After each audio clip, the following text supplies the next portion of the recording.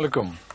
Haveli property সময়ের ভাবনার পক্ষ থেকে আমি মাহমুদ রহমান মান্না আপনাদের সবাইকে আমাদের অনুষ্ঠানে স্বাগত জানাচ্ছি।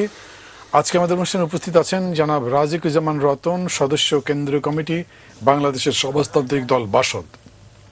উপস্থিত আছেন মোহাম্মদ এ আরাফাত, শিক্ষক ইন্ডিপেন্ডেন্ট ইউনিভার্সিটি বাংলাদেশ, নির্বাহী পরিচালক সুচিন্তা ফাউন্ডেশন। জনাব রতন এবং আরাফাত, আপনাদের দুজনকে স্বাগত। রতন, আপনাকে দিয়ে শুরু করি আমি। আজকে মানে আপনি তো যে তেল গ্যাস বন্ধ রক্ষা কমিটির আন্দোলনের মধ্যে আছেন সেটা দল আছে। দল আছে। দলের পক্ষ থেকে আপনি কি প্রতিনিধিত্ব করেন? জি মানে আপনাকে টিভিতে মাঝে মাঝে দেখি মিছিল টিছিল করছেন বক্তব্য দিচ্ছেন? এবং আজকে সম্ভবত দুপুরে বা যখন সংবাদ সম্মেলন করেছেন আপনারা এবং এটা হরতাল দিয়েছেন কনক ও ফিলিপসের সঙ্গে সরকার যে চুক্তি করেছেন প্রধানত এই চুক্তিকে আপনারা বলেছেন এটা দেশের স্বার্থ বিরোধী চুক্তি। বিভিন্নভাবে ব্যাখ্যা করেছেন। বহুদিন ধরে আপনি এটার উপরে আন্দোলন করেছেন। এটা মানে আমাদের আজকের আলোচ্য বিষয়টা এটাই। শুরু করেন আপনি। ধন্যবাদ মানে ভাই। আমরা অত্যন্ত দুঃখ, ক্ষোভ ভবিষ্যৎ প্রজন্মের প্রতি দায়বদ্ধতা থেকেই আজকে তেল, গ্যাস, বিদ্যুৎ বন্দর রক্ষা জাতীয় কমিটি আগামী তেসরা জুলাই অর্ধ দিবস হরতাল আহ্বান করেছে। এটা কিন্তু কোনো আকস্মিক ঘটনা নয়। এর আগে আমরা অনেকগুলো কাজ করেছি। যেমন ধরুন দু হাজার আট সালে যখন তত্ত্বাবধায়ক সরকার সামরিক বাহিনী কর্তৃক মানে প্যাট্রোনাইজ করা যে তত্ত্বাবধায়ক সরকার, তার একটা প্রোডাকশন শেয়ারিং কন্ট্রাক্ট করার জন্য একটা মডেল পিএসসি ঘোষণা করেছিল। এবং তার আগে আপনারা জানেন যে বাংলাদেশের সমুদ্র সীমাটা, আমাদের মূল ভূখণ্ডের দ্বিগুণ পরিমাণ হচ্ছে আমাদের সমুদ্র সীমা। সেটাকে আঠাশটা ব্লকে ভাগ করা হয়। তার মধ্যে বিশটা অগভীর এলাকায় আর আটটা গভীর সমুদ্র এলাকায়। এবং এটা করে তারপর একটা টেন্ডার আহ্বান করা হয়, পনেরোটা ব্লকের জন্য।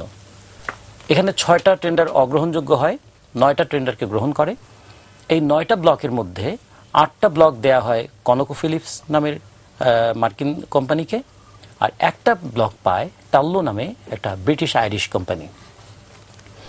তখন থেকেই আমরা আমরা প্রশ্ন তুলেছিলাম এই যে নতুন মডেল পিএসসি তারা ঘোষণা করল, এর মধ্য দিয়ে জাতির যে জ্বালানি স্বার্থ এবং ভবিষ্যৎ আমাদের যদি বলি ভূ রাজনৈতিক নিরাপত্তা, এটা প্রচণ্ডভাবে বিঘ্নিত হওয়ার একটা স্কোপ তৈরি হয়ে গেল।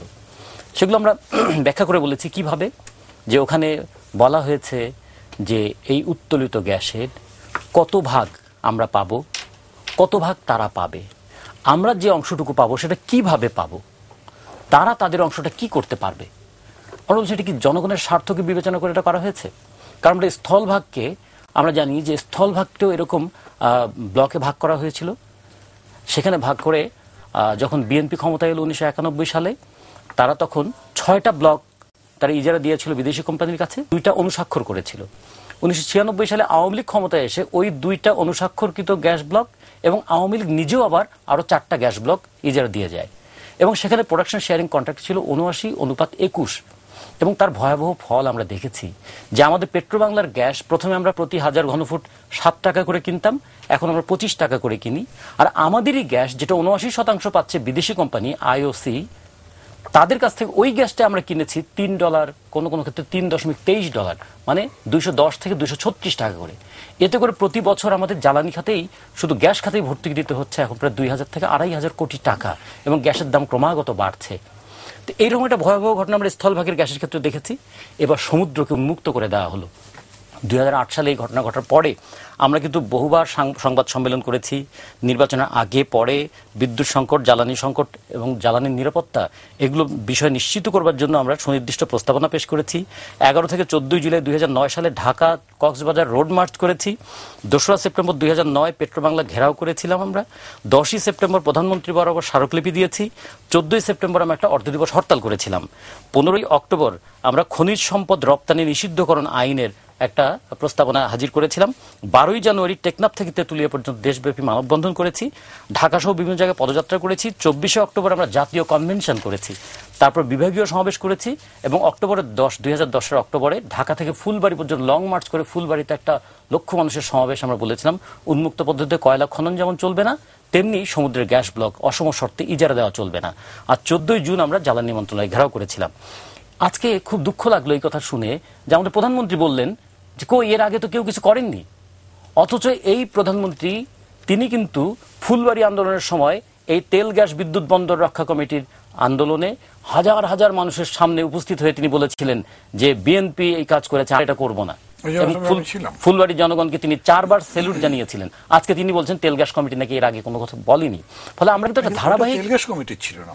ওটা ফুলবাড়ির স্থানীয় জনগণের এবং এই আন্দোলনটা কিন্তু guided by directed by and patronised by আমাদের এই তেল গ্যাস কমিটি।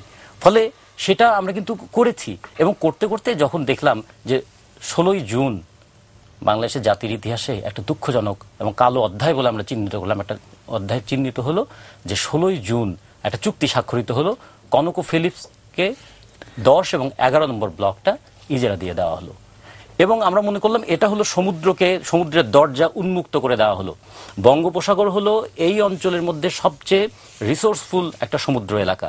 এবং বঙ্গোপসাগরের চারপাশে আপনি জানেন ভারত, মায়ানমার, শ্রীলঙ্কা এবং বাংলাদেশ। এটার অবস্থান।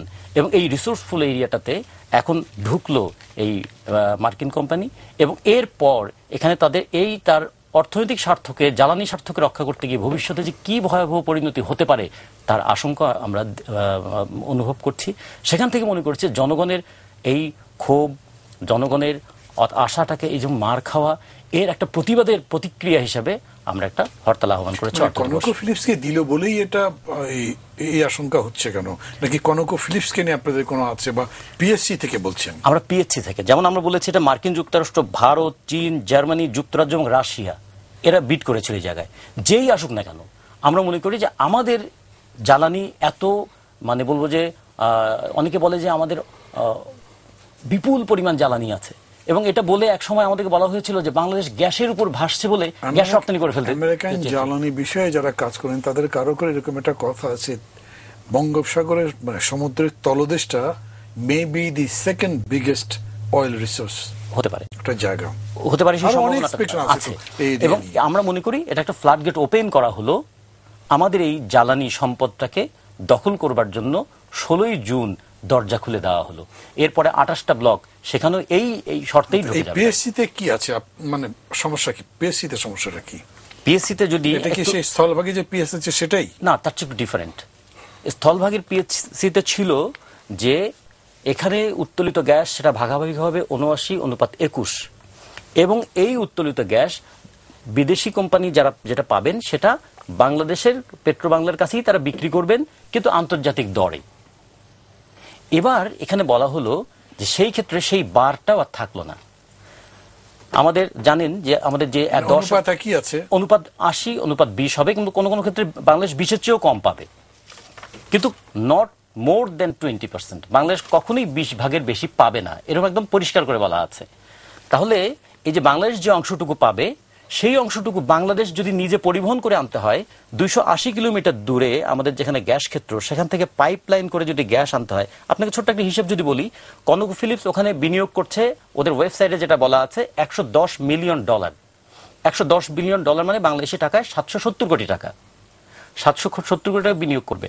আর যদি ওই দুইশো আশি কিলোমিটার দূর থেকে পাইপলাইন করে নিয়ে আসতে হয় গ্যাস, আমরা যে বিশ শতাংশ গ্যাস পাবো, সেই বিশ শতাংশ আমাদের খরচ যদি আনতে হয়, তাহলে প্রতি নটিক্যাল মাইলে সেখানে দুই মিলিয়ন ডলার করে পড়বে খরচ।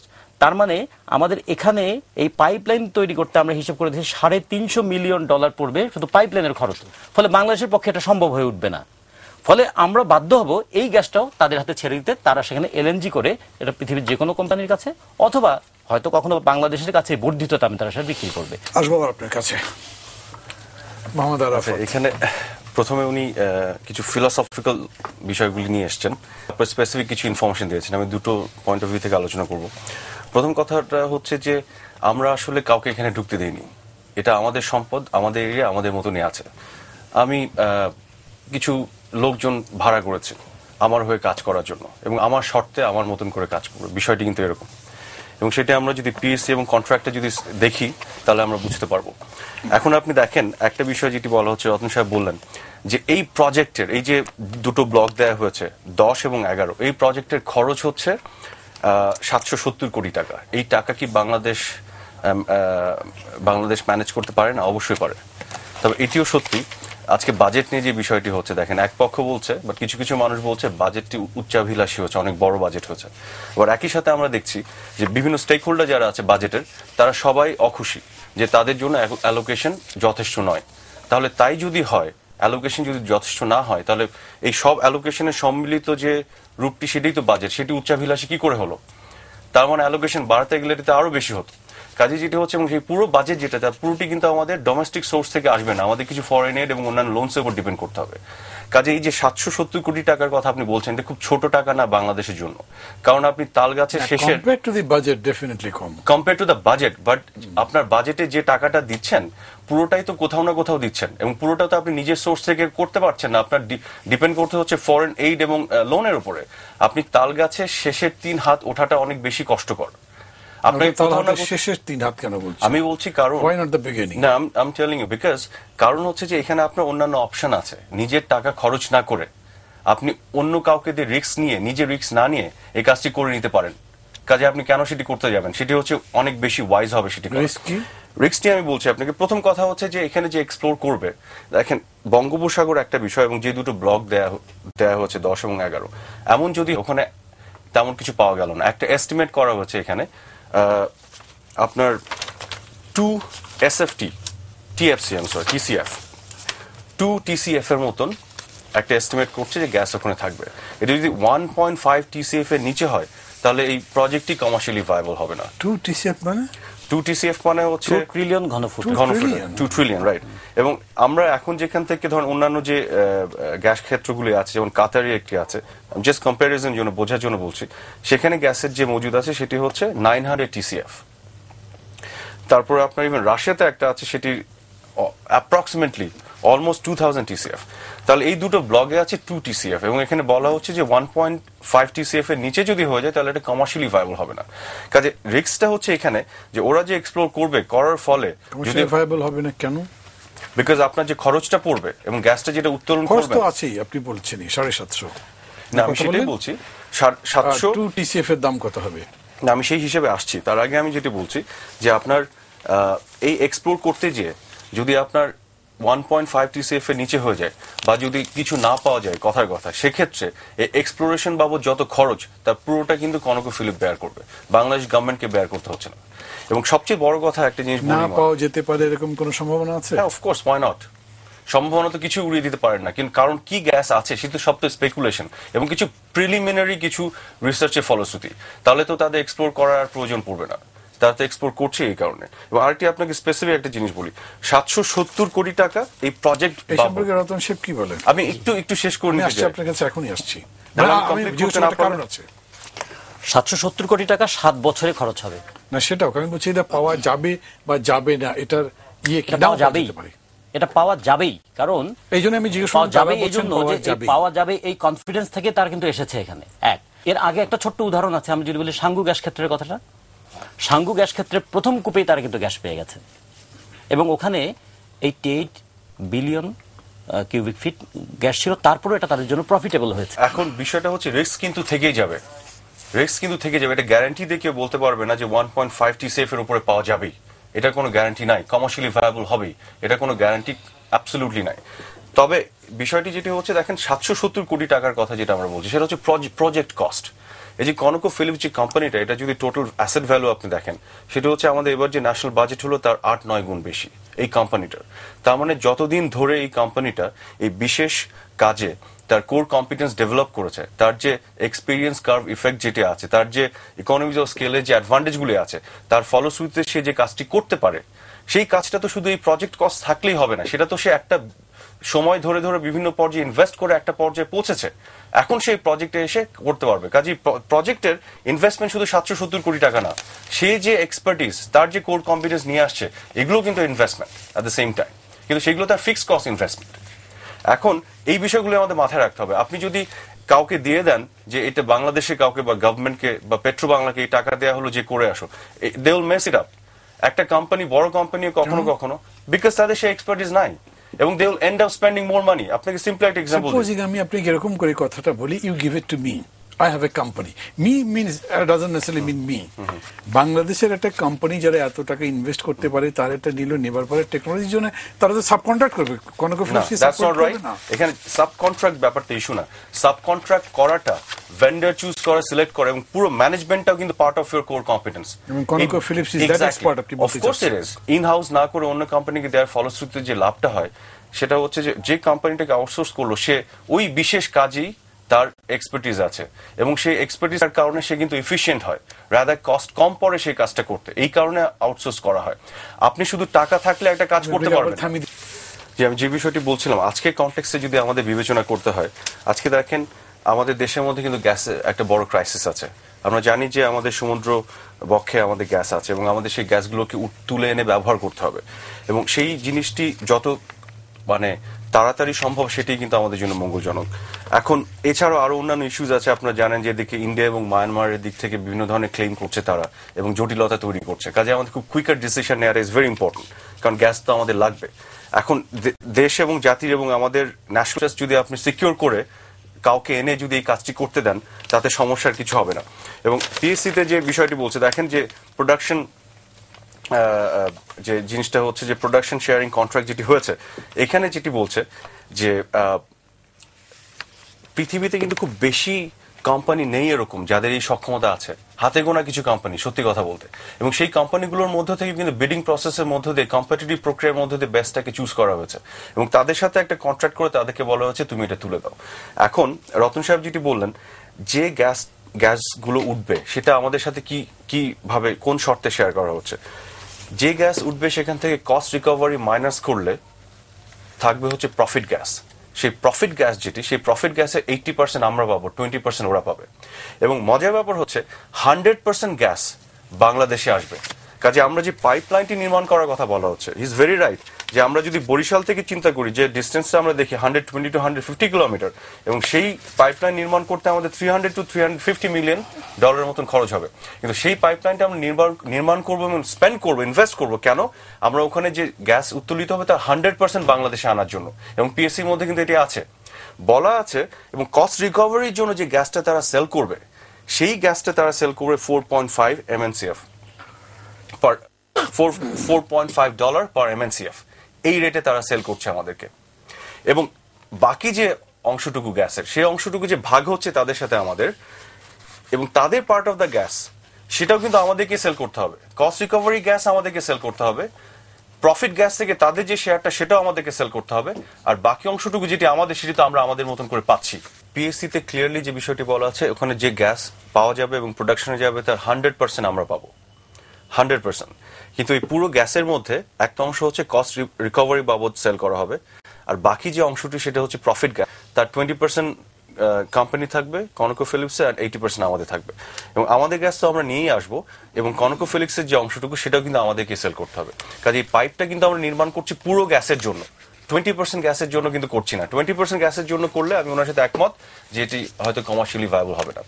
এখন বিষয়টি হচ্ছে, আপনি যদি দেখেন কস্ট রিকভারি এবং কনকোর যে ওদের পার্টের যে গ্যাস সেটা যদি আমরা ফোর পয়েন্ট ফাইভ ডলারে পার এমএনসিএফ কিনি, আর বাকি আমাদের যে গ্যাসটি আমাদের অংশে, সেটি যদি আমরা ফ্রি পাচ্ছি, তাহলে আমাদের on an average weighted average দেখলে দাম চলে আসবে হচ্ছে three point five dollar per MNCF এবং এখন এই মুহূর্তে আমরা যদি এলএনজি ইম্পোর্ট করতে যাই বিশ্বের অন্য কোথাও থেকে, তাহলে তার এই মুহূর্তে দাম হচ্ছে eleven to twelve dollar per MNCF তাহলে আমরা কীভাবে এখানে ঠকছি? এবং আমরা যদি কিনতে রিফিউজ করি পেট্রো বাংলা যদি রিফিউজ করে, সেক্ষেত্রে তাদেরকে অফার করতে হবে বাংলাদেশের কোনো থার্ড পার্টিকে তারা যদি রিফিউজ করে, সেক্ষেত্রে শুধুমাত্র বলা আছে যে তারা তখন এক্সপোর্ট করতে পারবে। কিন্তু এক্সপোর্ট যদি করে, সেই এক্সপোর্টটাও তারা করবে এলএনজি করে এক্সপোর্ট করবে তো। আমরা আমাদের পোর্শনে গ্যাসের ওই কারেন্ট মার্কেট প্রাইসে আমাদের অংশটুকু আমরা ঠিকই পেয়ে যাব। কাজে আমাদের এখানে কিন্তু অ্যাবসলুটলি উইন উইন দেখেন, এখানে কয়েকটি বিষয় আছে আমি একটু অ্যাড করতে চাই। এক্সপ্লোরেশনের জন্য যা রিস্ক সব কনকো ফিলিক্সে আমাদের কোনো চিন্তা নেই। এবং আমাদের যে গ্যাস লাগবে যে প্রাপ্তি সেটি আমরা কিন্তু ঠিকই বের করে নিয়ে আসছি। আমাদের জন্য কত খরচ লাগছে এটা ডিসাইড করবে কি? কোন কোনটা? কত খরচ লাগছে এক্সট্রাকশনে না, কত খরচ লাগছে সেটা তো এক্সট্রাকশনের উপর ডিপেন্ড করবে। সেটা তো একটা এস্টিমেট দেয়া আছে যেটা রতন সাহেব বললেন। রাইট এস্টিমেট থাকবে নাকি সেটা ইনফ্লেশন হবে আবার? না সেটা তো সেটার জন্য তো আপনার মনিটরিং এর তো ব্যবস্থা আছে সেটা Joint হবে কিনা সেটা অফকোর্স জয়েন্ট হবে এবং নট অনলি দিস জয়েন্ট আরও বেশ কিছু জিনিস হবে আপনাকে বলি। যার অনেক কিছু আমরা অনেকে বলছি না। যেমন ধরেন যে বিষয়টি হচ্ছে যে এই সব প্রজেক্টটা কমপ্লিট হয়ে যাওয়ার পরে এই যে প্রজেক্টের যে জলস ইকুইপমেন্টস এবং যে মেশিনারি যেগুলো আছে সেটাকে তো আপনার ফেলে দিতে হবে। সেই জিনিসগুলো ফেলে দেওয়া বাবদ আবার একটা কষ্টের ব্যাপার আছে। সেটার জন্য অলরেডি পেট্রো বাংলা এবং কনকো ফিলিপসের একটা জয়েন্ট ফান্ড ক্রিয়েট করা হবে। এবং সেই জয়েন্ট ফান্ডটা পেট্রোবাংলা কন্ট্রোলের মধ্যে থাকবে। যেটা ইউজ করে পরবর্তীতে সেই কাজটা করা হবে। এবং আরেকটা বিষয় আপনাকে আমি বলি যে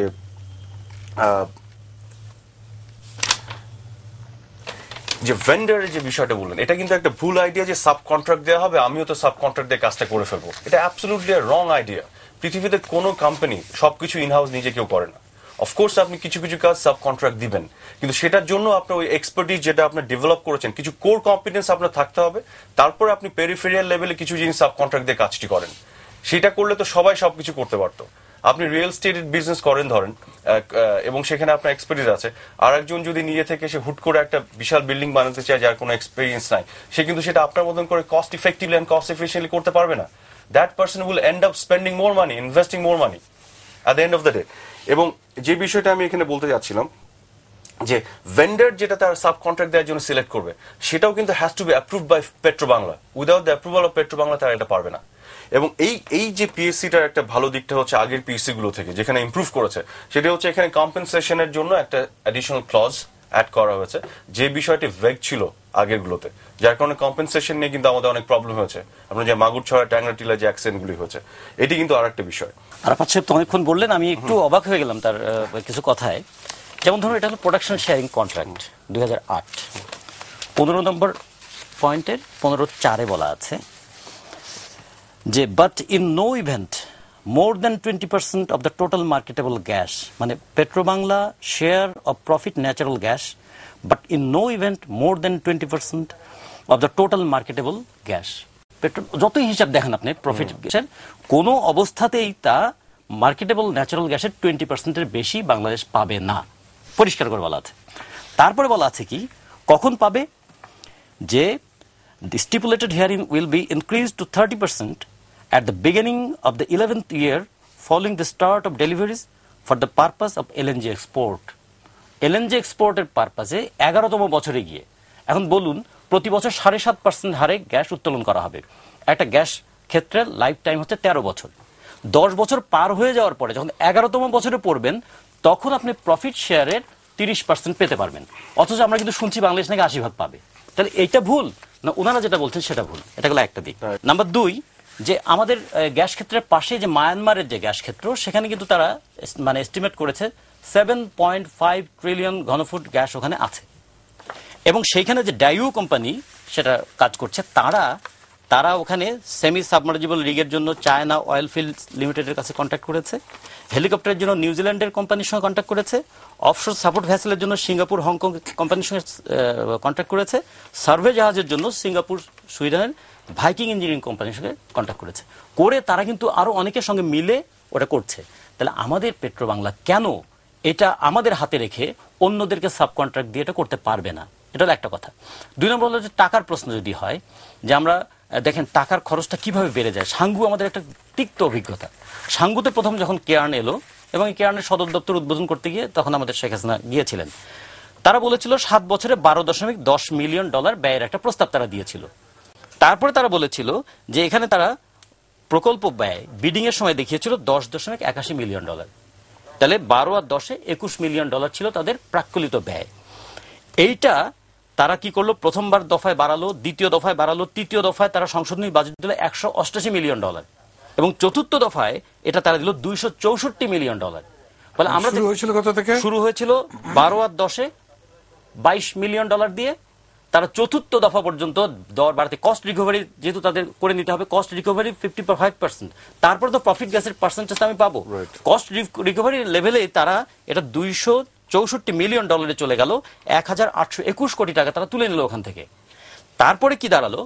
তারা দ্রুত গ্যাস তুলে নেওয়ার জন্য, যেখানে শর্ত দেয়া ছিল যে প্রতিদিন একশো ষাট মিলিয়ন ঘনফুটের বেশি গ্যাস তুললে গ্যাস কূপের স্ট্রাকচারটা নষ্ট হয়ে যেতে পারে। ওরা খুব দ্রুত গ্যাস তুলে এখান থেকে চলে যাবে প্রফিট করে। এই জন্য প্রতিদিন তারা একশো আশি মিলিয়ন ঘনফুট হারে গ্যাস তুলতে শুরু করল। দশ বছর যেতে না যেতেই আমাদের ওই স্ট্রাকচারটা ভেঙে পড়ল। ফলে আমাদের ওই গ্যাস ক্ষেত্রটা অকার্যকর হয়ে গেল। তাদের তো প্রফিট হয়ে গেছে। তারা এখন তো যে কোনো জায়গায় চলে যেতে পারে। এবং এইখানে আরেকটা জিনিস দেখেন, আরেকটা জায়গায় কথা আছে যে তারা কি করতে পারবে? তার কারণ হচ্ছে কন্ট্রাক্টর কি করতে পারবে? সে তাদের অধিকার আছে ফ্রিলি এই জিনিসটা বিক্রি করবার। Subject to article fifteen point five fifteen point six and twenty four entity comprising ca- contractor shall have the right to export freely petroleum received.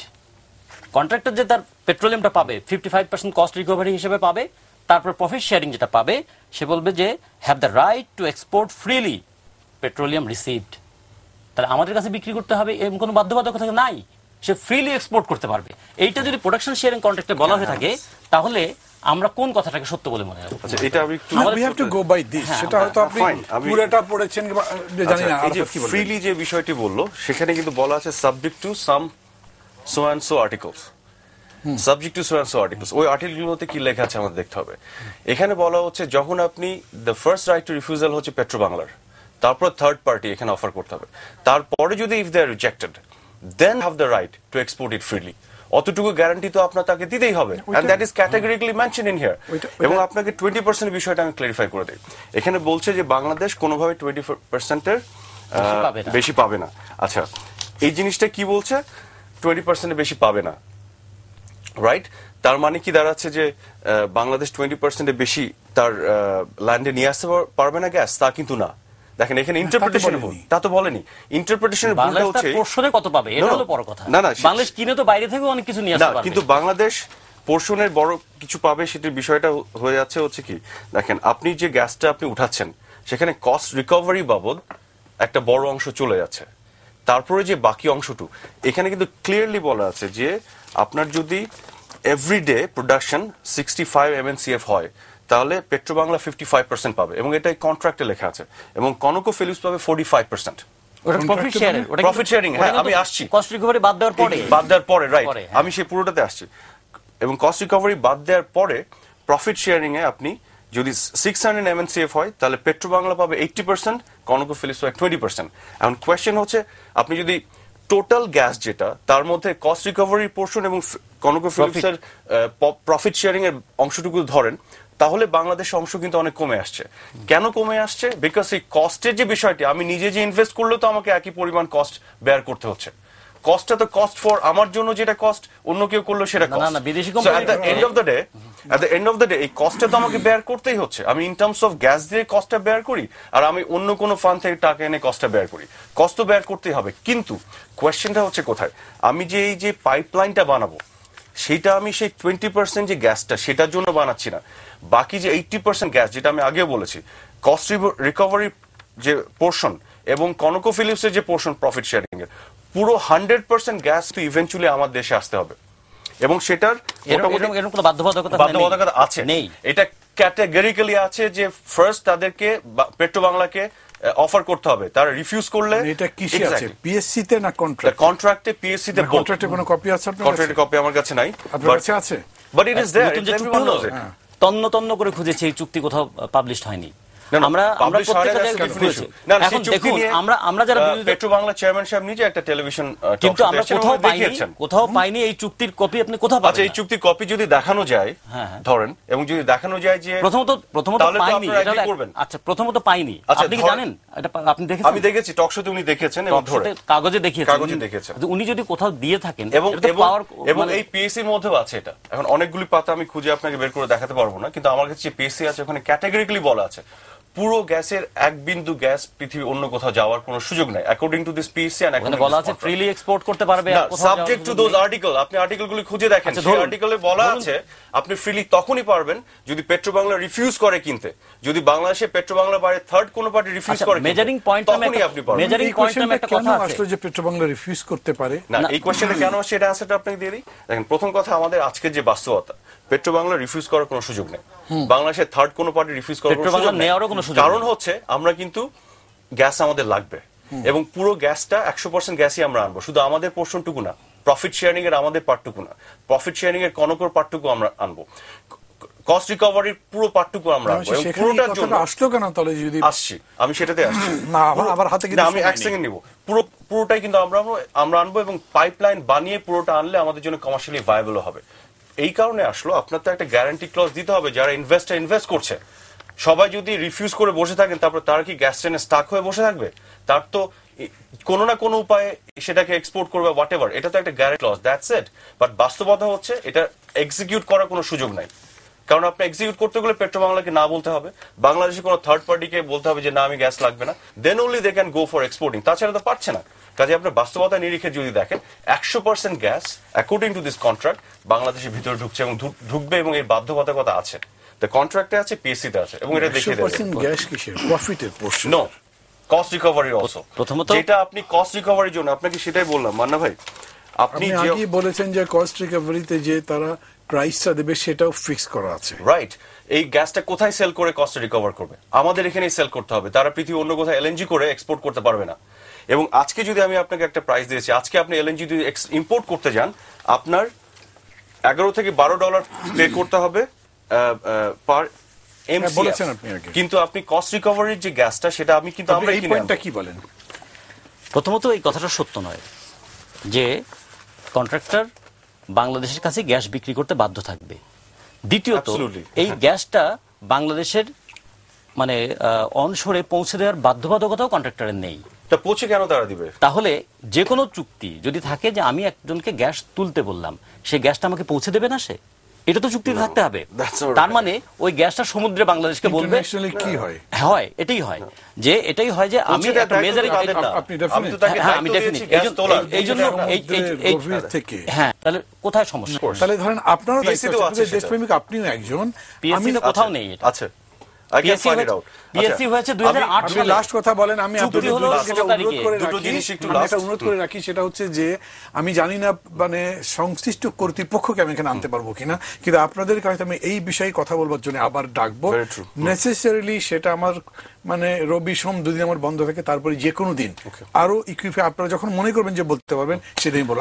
দুটো কথা বলে প্রথম কথা হচ্ছে গ্যাস পৌঁছে দেওয়ার যে বিষয়টা এই যে পাইপলাইন করা সেটা কিন্তু all together a separate activity ওদেরকে আমরা কন্ট্রাক্টটা দিয়েছি গ্যাসটা তুলে প্রডিউস করার জন্য।